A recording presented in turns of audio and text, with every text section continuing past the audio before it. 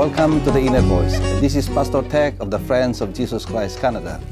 Again, friends, we're here to study the Scripture, and uh, we are told that the Word of God is eternal.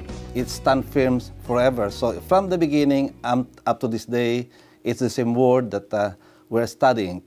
And so, again, uh, topic today is uh, teamwork.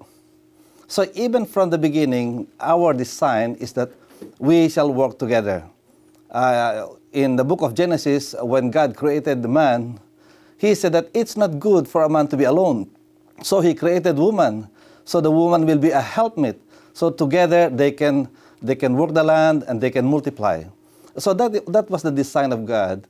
And so today we shall study this topic on teamwork. And uh, friends, no man is an island. That's what we have been hearing. And so we need each other. Uh, teamwork is the process of uh, working together, uh, cooperating, collaborating uh, to do some works for the purpose of uh, achieving a goal that had been set.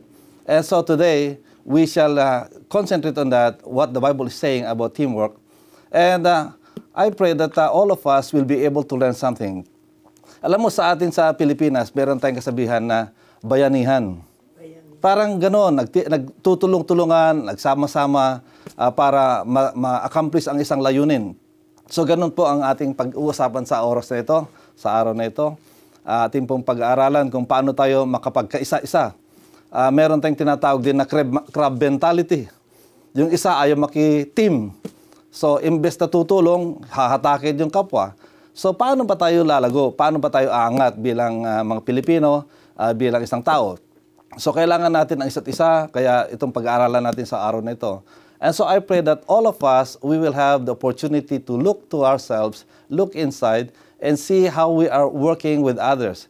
Are we really uh, cooperating? Are we really, really a, a good team player? You know, for a team to succeed, there has to be a teamwork.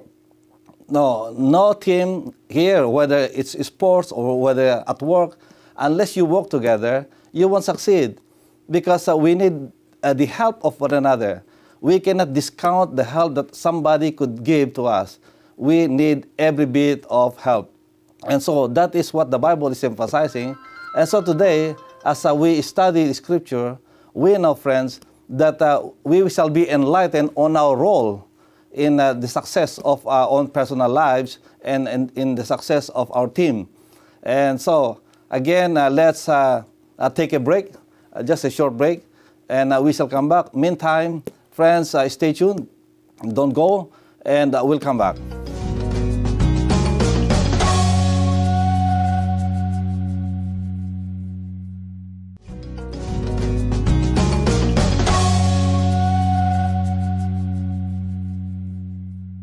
Welcome back to the Inner Voice. Uh, as uh, we mentioned earlier, uh, let's now go into the study of the Scripture and uh, learn some lessons out of uh, uh, what had been written. And we said earlier that even from the beginning, the design of God for us is to, to work together. And so let's open our Bibles. First Corinthians chapter 12, verse 20. So let's uh, see what the, the, Bible is saying here. And this is uh, the Apostle Paul uh, writing to the church in Corinth.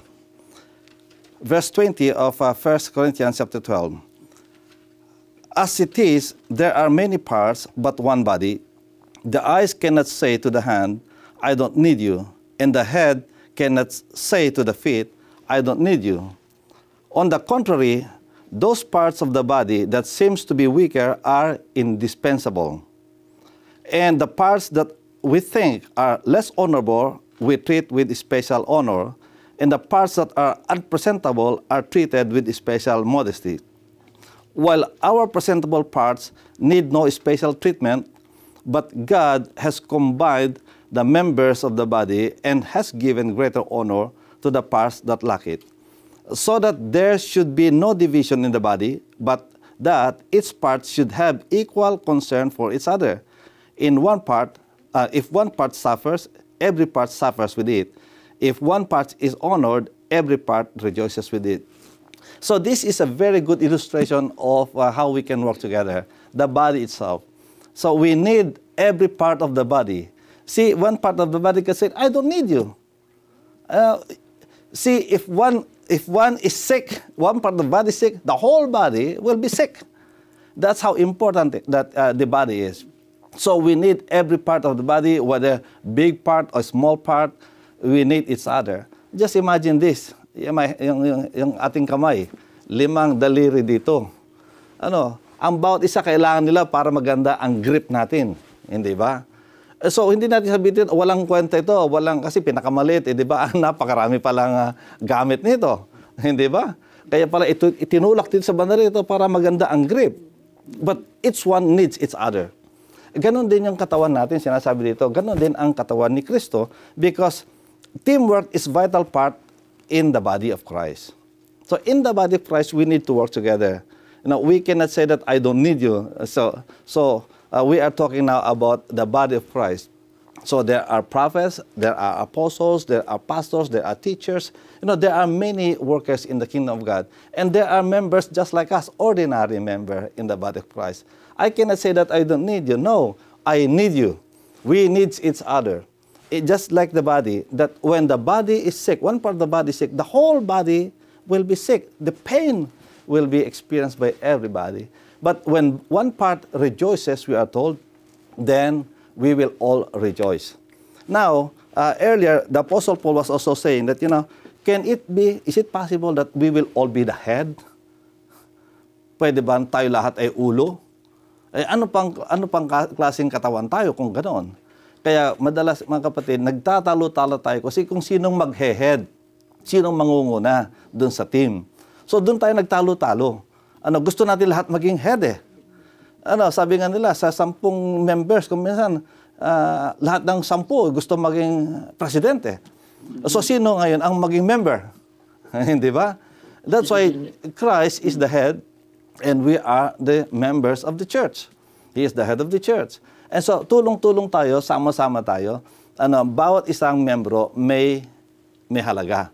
Ano, wag natin sabihin na, hindi, maliit lang naman akong miyembro eh. Hindi na ako kailangan dyan. Hindi, kailangan ka. No. Tingnan natin, yung ating tag of war. Kahit na pinakamalit na bata yan, kailangan may makakatulong yun sa paghatak. Hindi ba? Eh pero gaano man kadati kalalaki, kahit malalaki tayo lahat, eh kung hindi naman tayo naghahatak, ano kasi ayaw natin na manalo kasi may galit tayo ng kapwa natin, walang mangyayari. And so sabi natin, magsama-sama tayo. Uh, teamwork needs to fulfill the Great Commission. As the body of Christ, we need teamwork to fulfill the Great Commission. Alam niyo yung Great Commission, napaka-great sa totoo lang. That's why it's called great. Why? Why is it so great? Kasi nakalagay dito, ano, sa Matthew 28, ano, from verse 18. Then Jesus came to them and said, All authority in heaven and on earth has been given to me. Therefore, go and make disciples of all nations, baptizing them in the name of the Father, and of the Son, and of the Holy Spirit, and teaching them to obey everything I have commanded you. And surely I am with you always to the very end of the age. It's great because it's a huge task. Magagawa ba ng isang tao dito to go into all the world to preach the gospel? And baptizing everyone, teaching everyone, uh, the, the message of the Lord Jesus Christ, sabi niya, uh, teaching them to obey everything that I have commanded you. Magkakaya ba ng isa? That's why we need each other. Di ba? Kailangan natin ng isa't isa. Walang tao na makakaya lahat ang gawain nito. Uh, in fact, uh, we are given a good illustration sa uh, 1 Corinthians 3, 5 to 9. Mm sa 1 Corinthians 3, 5 to 9, pinapakita sa atin dito ano, paano tayo uh, magtulungan. Kasi in the end, it's not us that matters but God. Mm. Sabi dito, mm, 8 to 9. The man who plants and the man who waters have one purpose, and each will be rewarded according to his own labor. For we are God's fellow, uh, fellow workers, you are God's field, God's building. But earlier, he, he said dito na uh, this is now comparing Apollos and uh, Paul. Uh, sabi dito, what after all is Apollos? Anong magagawa ni Apollos? Ano kahit na sabi dito may taga-tanim, may taga uh, taga-dilig. Anong magagawa ni Apollos, di ba? Said and what is Paul? Only servants through whom you came to believe as the Lord has assigned. It's his task. So may kanya-kanyang gawain lang 'yan. Sabi dito, I I I planted the seed, Apollos watered it, but God made it grow. So, so neither he who plants nor he who waters is anything, but only God who makes things grow. Amen. And so, yun sinasabi dito na o hindi mahalaga kung sino, ang mahalaga dito is gawin natin. No, meron kanya-kanyang tungkulin.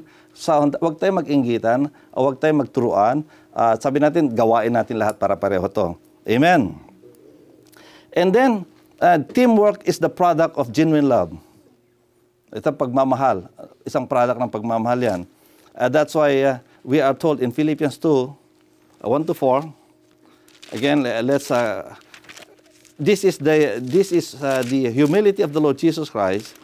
And then, in this, we could see that, sabi dito, Philippians 2, verse 1 if you have any encouragement from being united with Christ, if any comfort from his love, if any fellowship with the Spirit, if any tenderness and compassion, then make my joy complete by being like-minded, having the same love, being one in spirit and purpose, do nothing out of selfish ambition or vain conceit, but in humility consider others better than yourself.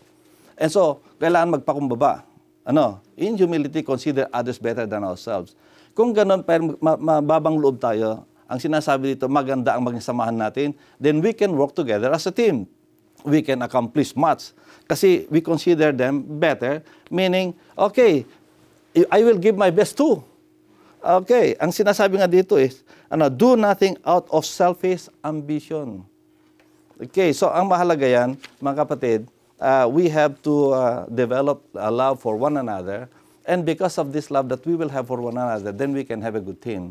See, we will consider others as our brothers and our sisters, and we don't compete with them. We work together as a team. We encourage one another, we pray for one another, and at the end, friends, the victory is ours. Pag nanalo tayo, tayo lahat nanalo. Pag natalo, kahit na sabi mo dito, uh, yung iba ginawa nilang dapat nilang gawin, hindi mo ginawang dapat mong gawin at natalo, then you are also a loser. And so if we want to be winner, then we should all work together in a team and we will win. Hindi tayo matatalo. Ano, magkasama tayo. And so friends, this is the first part of our lesson today. And uh, we shall uh, continue on and see how we can practically apply this in our lives. We need to work together as a team. You know, the challenge ahead of us is great. It is not easy. No man can overcome the challenges by himself. we need each other and it will be a lot lighter. It will be a lot easier to overcome it. And so again, let's take a break and we will come back after a few minutes.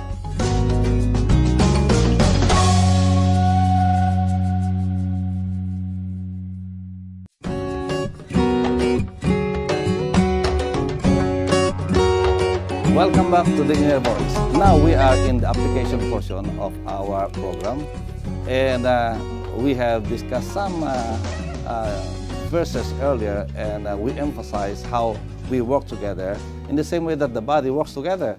See, if we want the body to be healthy, every part of the body should be working its part.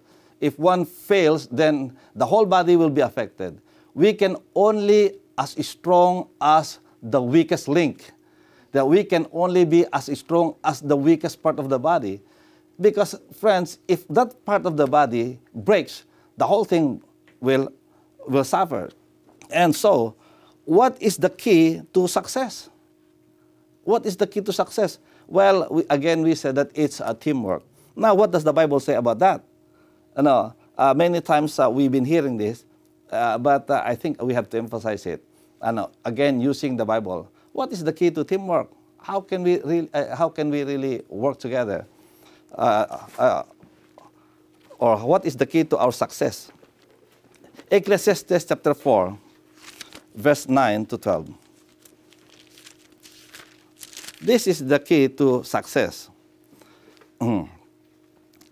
Two are better than one because they have a good return for their work.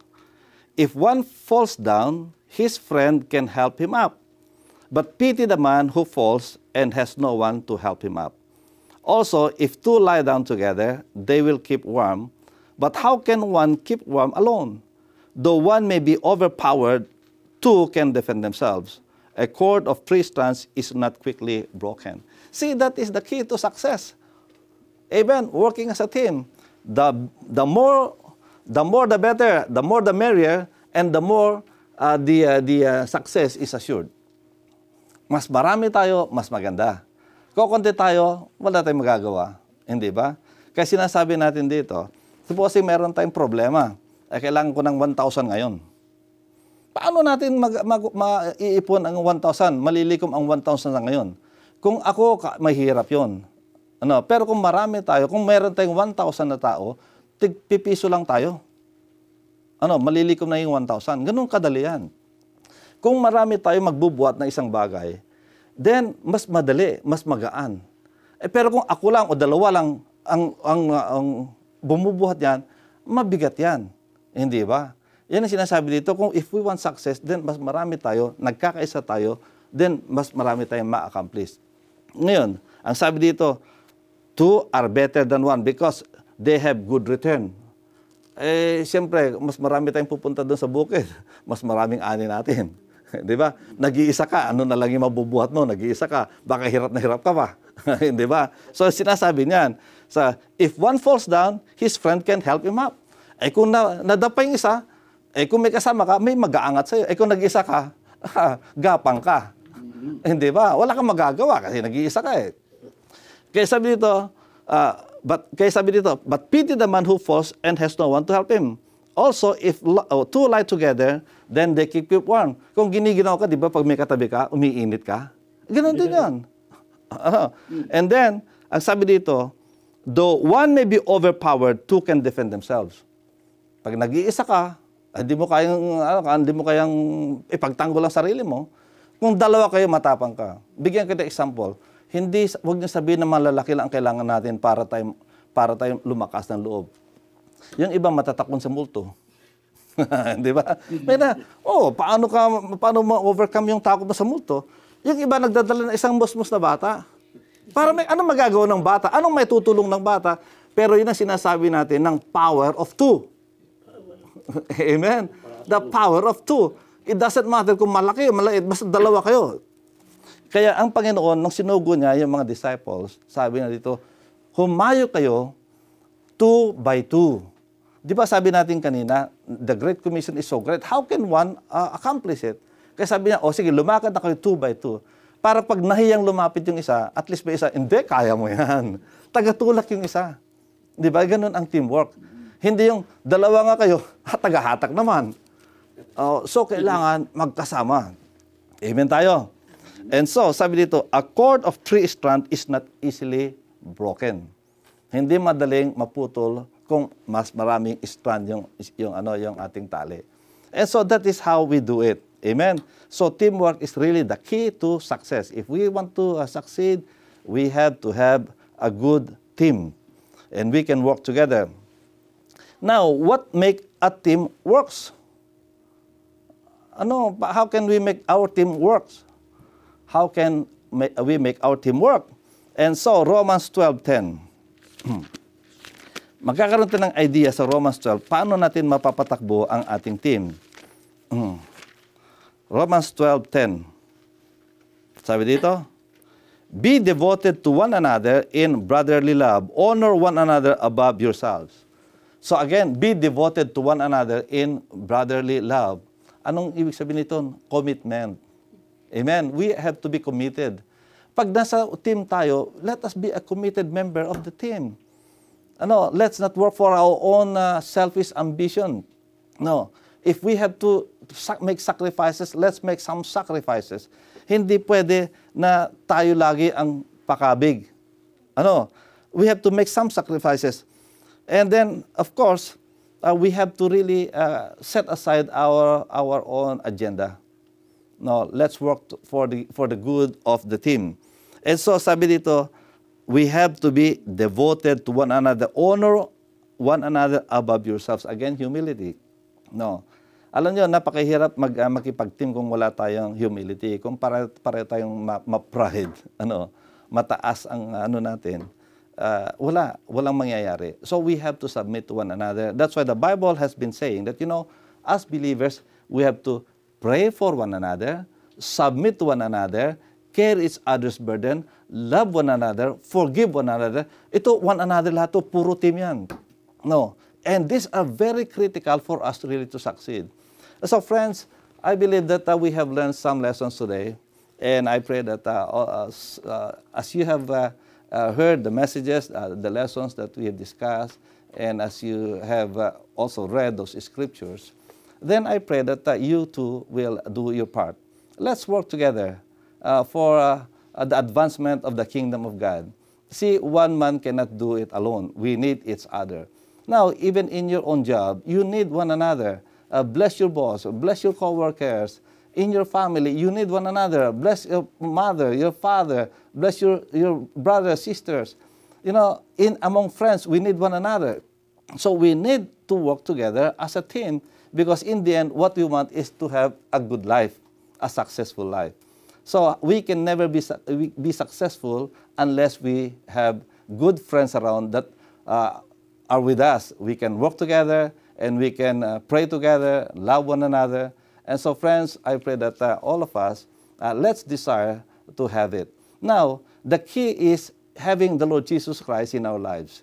Do you have Jesus in your life? He is the author of life, and He is the one that will give us this renewed spirit that we can walk really in love and in faithfulness. We need to have a close relationship with Him. And so, again, friends, uh, thank you for joining us tonight. And uh, if you need uh, more uh, lessons on this, well, just give me a call. You know my number, my contact number, or go maybe to our website. Our website, website is www.friendsofjesuschrist.com. And you can get more lessons from there. And uh, if not, come and join us here and uh, just be with us. Let's have Bible study together, or go to your church pastor and uh, ask for a Bible study on this topic. Okay, so again, thank you for joining us. Uh, God bless, and may the Lord bless you and keep you. May the Lord uh, face shine upon you. May He be gracious unto you and lift up His countenance on you and give you peace.